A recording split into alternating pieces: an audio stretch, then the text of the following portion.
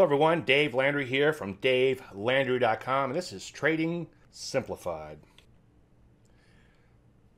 So, what are we going to talk about? Well, I think it's important that I continue with the methodology in action. And as I've recently been talking about quite a bit in my Week Weekly Charts show, I've been working on a piece about Nicolas Darvas, who turned $10,000 into $2 million in the 50s. And he wrote a book, How I Made $2 Million in the Stock Market. And I'll probably have a lot more to say about that. But anyway, one of the criticisms is that he was in the right place at the right time. Well, not everybody made $2 million out of $10,000 in the mid 50s trading stocks. And it reminds me of a gentleman I once met due to some business dealings. I was part of a website when we were one of the first websites out there. It was us and MarketWatch.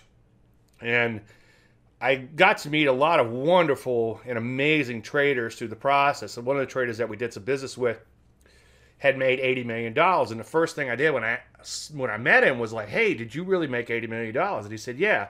But Dave, there's no way I could do that in today's markets. I was in the right place at the right time. And he went on to say, it was like being in the land of the blind and I had one eye.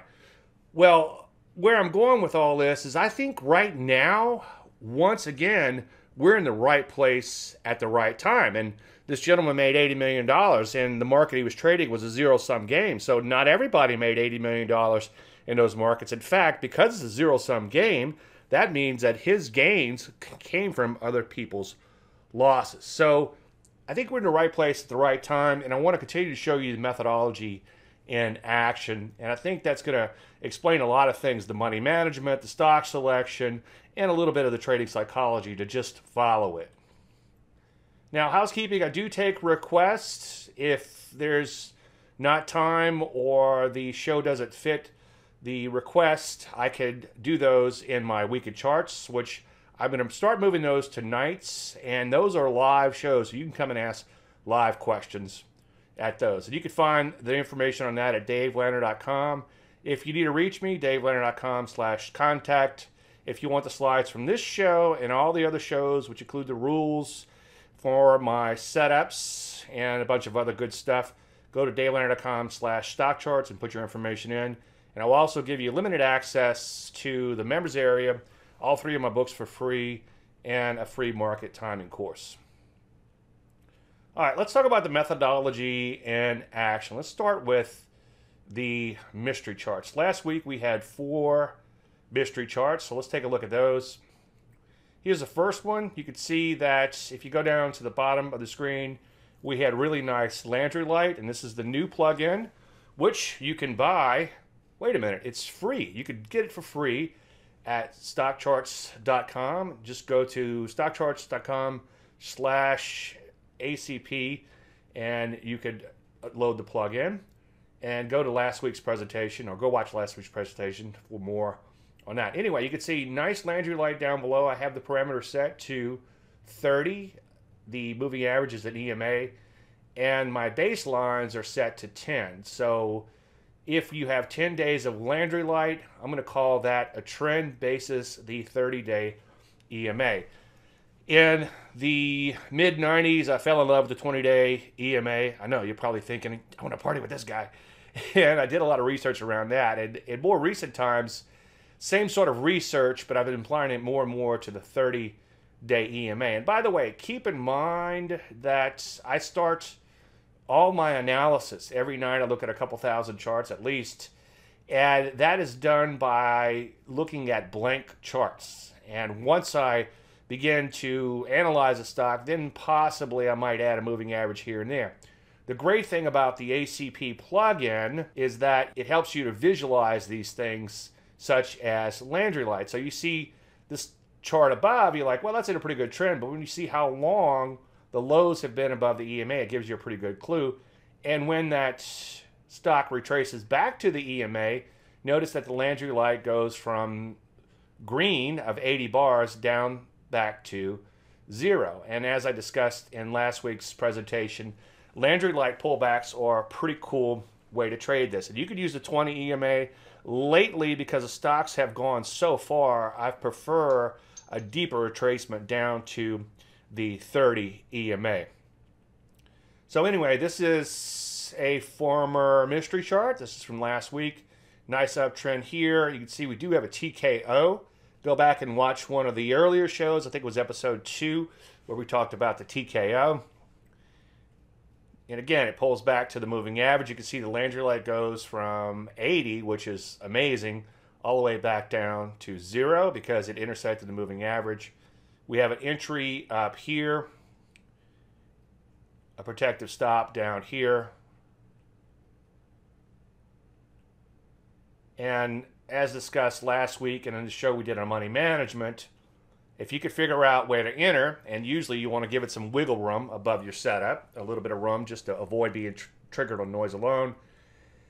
And if you look at the volatility of a stock, if it's bouncing around two or three points, you want to make sure your stop is wider than two or three points. And we've done plenty of shows on the money management. I have a complete module just on money management. Not the most exciting module in the world, but probably the most important next to psychology.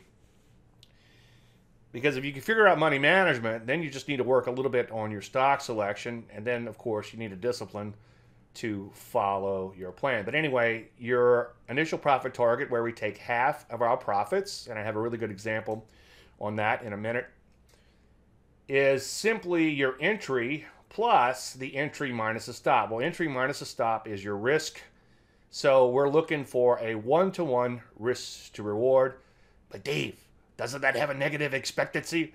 Yeah, if you're only making the same amount that you're losing over the long run, you will lose money trading. However, the occasional home run makes it all worthwhile. And I'll show you one or two examples of that. So this chart is FUV, and it did trigger. Now we have another mystery chart reveal. This is NH. It triggered yesterday. In fact, when I put this chart up here, it had not triggered. But you can see that it did have a little bit of Landry light, but it had such a good uptrend. I was okay with it having that Landry light to the downside, that is. And you can see right here, the highs of the bars are less than the moving average, and that's why the Landry light goes from green to red. And we have an entry up here. And again, it triggered yesterday afternoon. Stop down here. So I'll follow up with this one in upcoming shows and along the FUV and any other ones mentioned. We'll see how it all works out. Now, here's another reveal. This is BLDP. And in this case, I decided to pass. We did have great Landry light. We did have the pullback to the EMA, giving us an entry around 1750. And then you could see we started having more and more downside Landry light over the last week or so. And at this point, I'm thinking it's also a first thrust, which we also discussed in one of the earlier shows. I think episode three, we talked about trend transitions and beginning to form a bow tie to the downside. So this stock may have topped out. Those who are familiar with a little bit more classical technical analysis will notice that it's an inverted cup and handle, which is a bearish pattern. So all of these things made me think that this stock is no longer worthy as a candidate. By the way, sometimes a stock in a deep pullback can continue to roll over and actually set up to the downside. So sometimes a deep pullback can be an inflection point.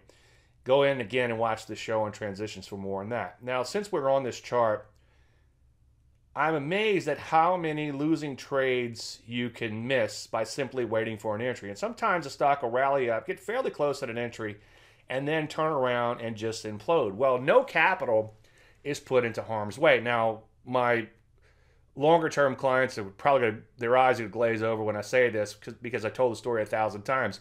And people like, well, Dave, why do you beat the dead horse so much? Well, because every time I beat the dead horse and I think to myself, geez, I beat the dead horse too much, the next day, or sometimes the next 10 minutes, within the next 10 minutes, I get an email about the same topic that I've beat the dead horse on anyway, I'll get an email on something like this, and it's like, hey, Dave, that stock somewhere around this point where I have the X drawn. Say, like, hey, Dave, that turd you recommended, I'm down about 50% in it. What should I do? And I'll go back and forth a little bit. Like, I don't think I recommended that stock. It's gone down, as you said, 50%. I do not try to catch a falling knife. I like to buy stocks as they're going up. I like to buy good stocks. Good stocks go up. I avoid bad stocks. Bad stocks go down, okay? And through the money management and entries, I'm able to stay in the good stocks, hopefully, and avoid the bad stocks. A little stock picking going in doesn't hurt either making sure you have a really, really nice trend as evidenced by the Landry light, or as I like to do, as you've seen in these presentations, draw a big blue arrow. Anyway, long story endless. I'll go back in and say, okay, well, I did recommend that stock, but it never did trigger. And this is a reoccurring theme. People will buy these stocks early, not wait for that trigger, and then hold on to them long past where the stop should have been. It's okay to front run a setup a little bit. Let's say you got an entry at 1750 and the stock's at about 1740 and it's okay with one caveat. Let's say conditions are fantastic like they are right now. Again, I think we're in the right place at the right time. Then it's okay to get in a little early. By the way, somebody pointed out last week in my weekend charts or in a YouTube comment, they said, "Oh, bear walks, a bull walks." What did they say? They said something like a bull walks in to a bear bar. You know, it's like basically saying that the fat lady is singing because I'm talking about being in the right place at the right time.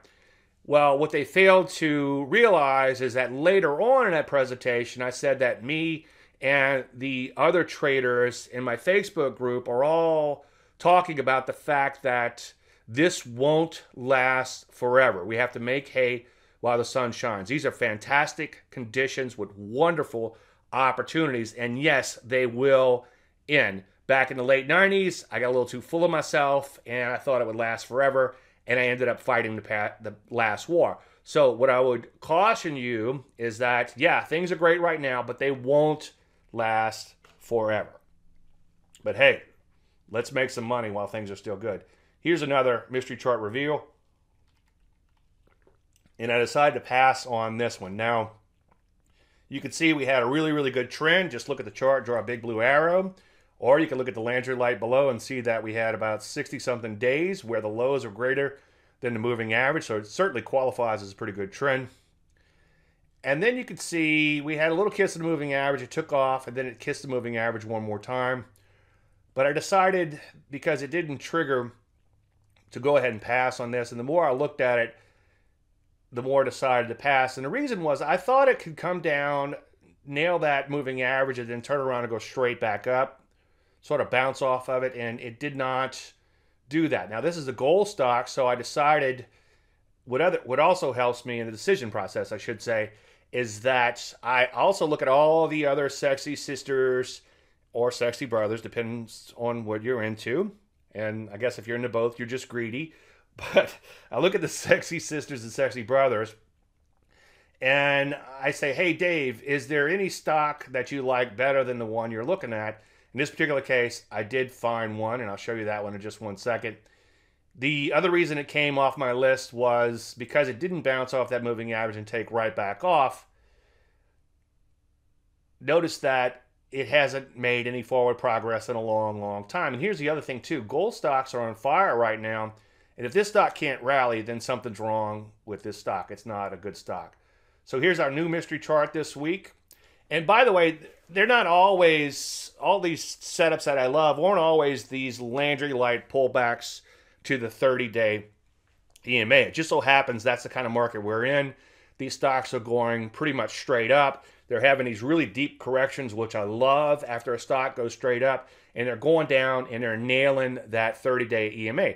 The beauty of this is it helps you to qualify, not quantify, but qualify the setup, and it's easy to recognize. For instance, when I came out with bow ties many, many years ago, I guess 20 years ago, people loved it because it's very easy to recognize the pattern with the moving averages. But again, the indicator doesn't do anything magical. It helps to illustrate what's already in the chart. In this case, and lately, these Landry light pullbacks have been fantastic. That won't always be the case. I can guarantee, like the gentleman who criticized me thinking I was too much of a bull, it will end someday. By the way, it's funny when the market's selling off and I'm a bear, people like, you're such a bear. You're always a bear. It's like, no, I'm a bear because the market is going down. When the market is going up, they're like, you're such a bull. It's like, no, I'm a bull because the market is going up. And then this year, it's funny, I've been called a bull. How come I'm always bullish? And then I was called a bear. How come I'm always bearish? Then I was called a bull. How come I'm always bullish? Because we had a bull market, we had a bear market, and then we had another bull market this year. It's like all these different things are happening on a compressed time frame. By the way, if you started trading this year, boy, I tell you, it's been trial by fire, huh? You get to go through a bull market, a bear market, and then another bull market. It's fantastic. Anyway, you could see that we did have a nice little pullback to the 30 day EMA after a really, really, really nice trend in here.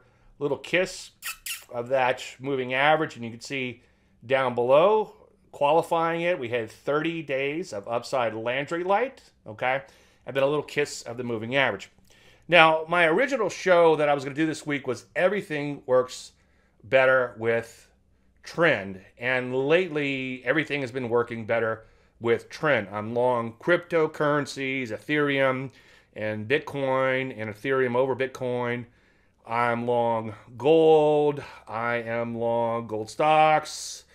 Ed, I'm long silver, on and off long silver. All because these markets are going up. Everything works better with trend.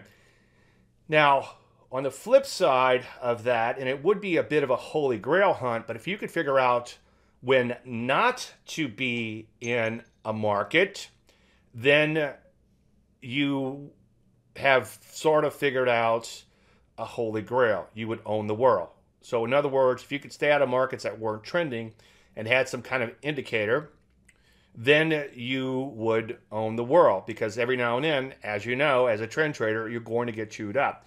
Well, one thing you can do, in addition to the bow ties and go back and look at all those Tarzan presentations, the good and bad that I did over the last several weeks.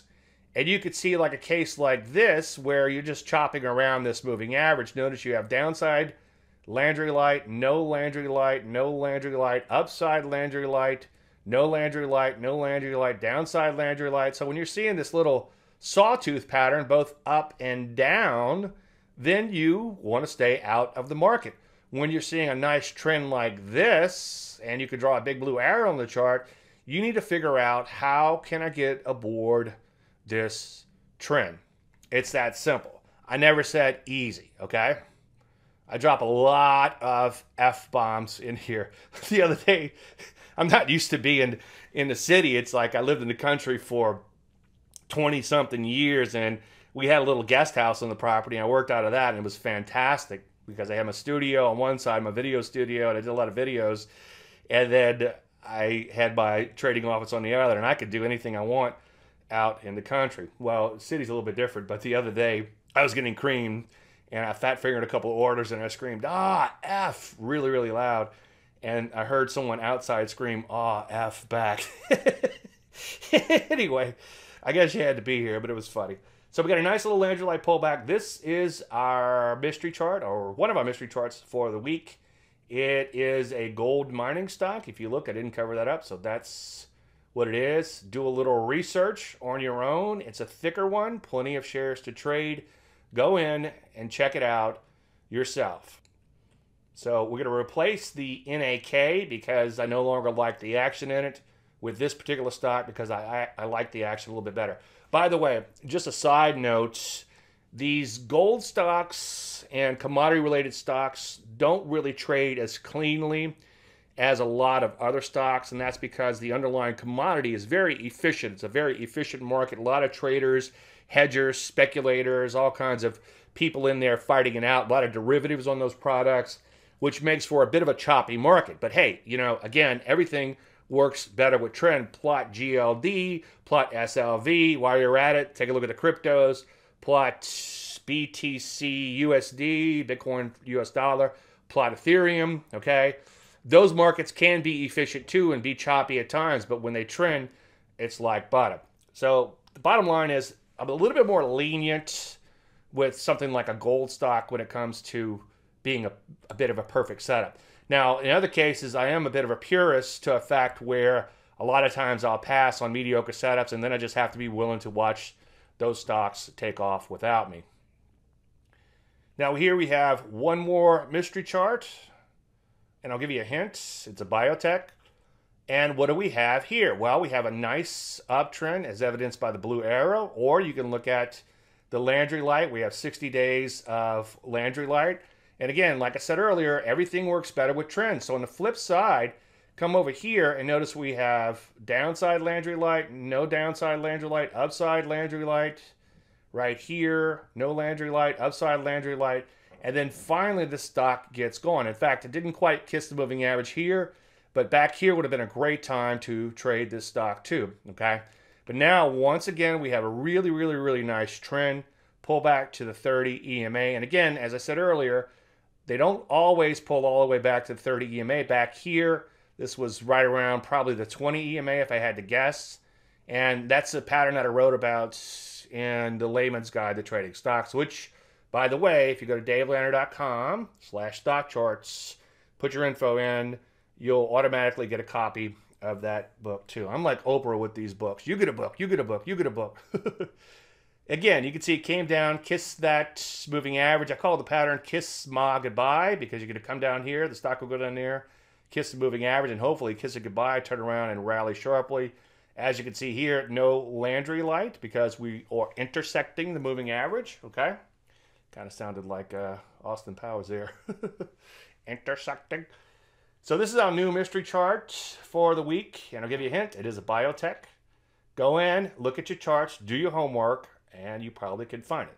Hey, Dave, why don't you just give us a name? No, because the object of this show is to teach you how to trade. It doesn't matter what the chart is, right? I want to teach you how to trade give what's the old saying again? I think I said this last week. Give a man a fish, he eats for the day. Teach a man how to fish, he'll sit in a boat and drink beer all week, all day at least, all week. Wow. anyway, uh, if you do want to see these ahead of time, I do have a service, so I'm not completely altruistic in all this, but I do a lot, a lot of teaching for free. And some people use that and go off and do really well, and I never make a dime off of that. And I'm, I'm totally cool with that all of this educational stuff I do, by the way, from a selfish standpoint, it makes me a better trader. I have an article on why I teach trading and how that benefits both you and me, and I'll have to dig that up. Now let's talk about the best, the missed, or the worst trade of the week. So this was a position trade, and if you look over here, this is my Landry list. This is the research that I publish every night. And this was not an official recommendation, but I decided to go ahead and take it. By the way, the spreadsheet that you're seeing with those official recommendations at the bottom, that's what I call my model account. And my goal there is to show that the methodology can work. And then the Landry list, which you see off to the left, which sometimes they might not be any stocks in this, sometimes they might be 20 or 30.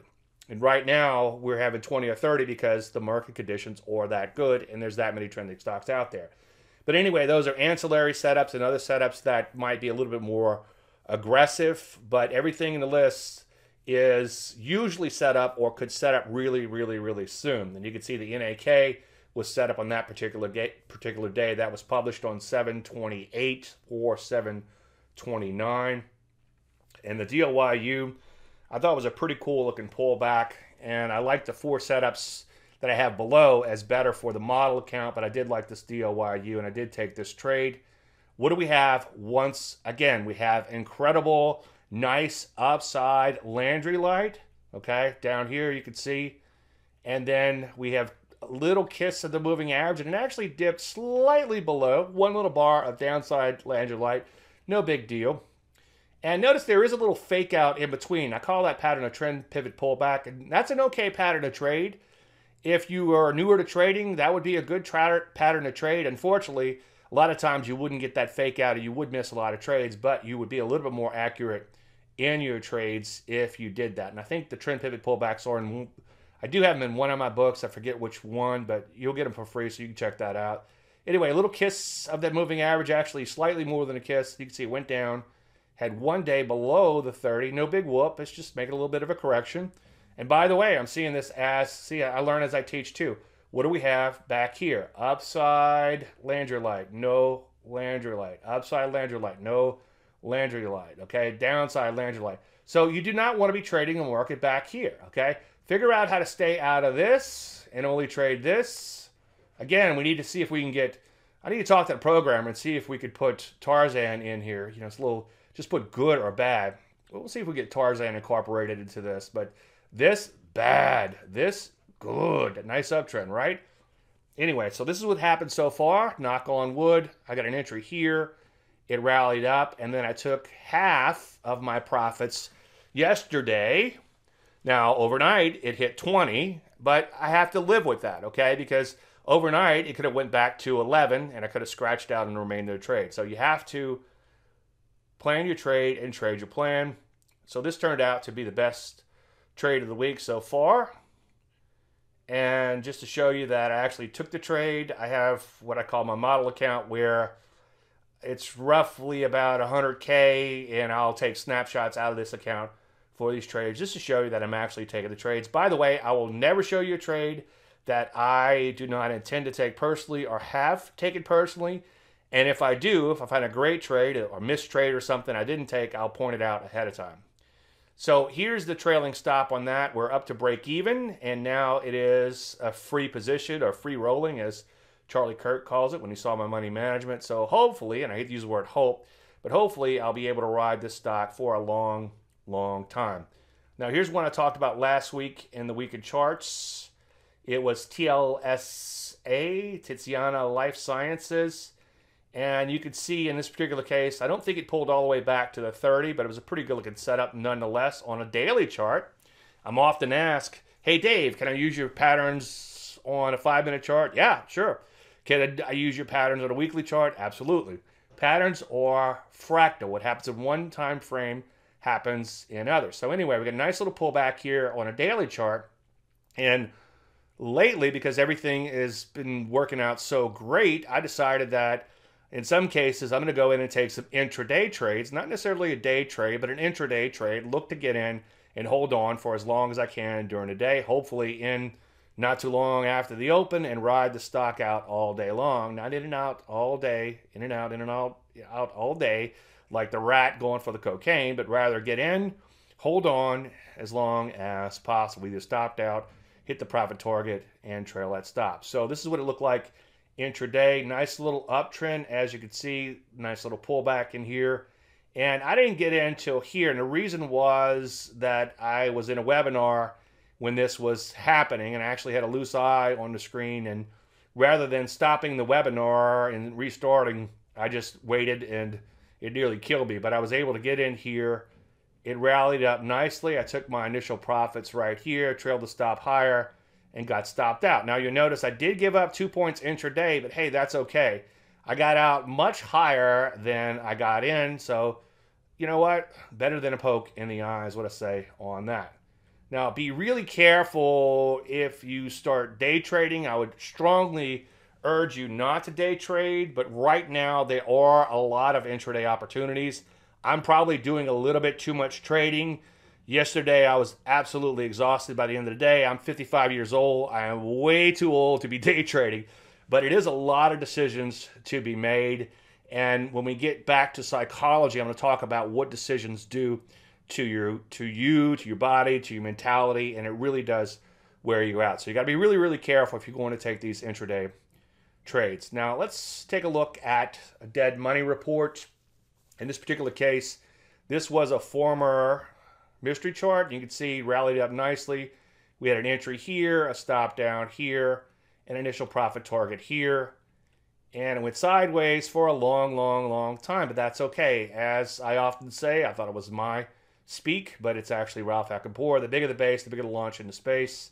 A lot of people see this and say, dead money. I'm going to lose money in this trade. It's not going anywhere. It's dead money. Well, let's take a look at what happened. Notice that over the last week or so, it's begun to rally, and we've had a nice rally higher. Okay, my time is up. I want to thank everybody for watching. Again, if you need to reach me, use these links below. Thank you, everybody, and may the trend be with you. Hey, Grayson Roze here with Stock Charts. Thank you so much for watching. I hope you enjoyed that video.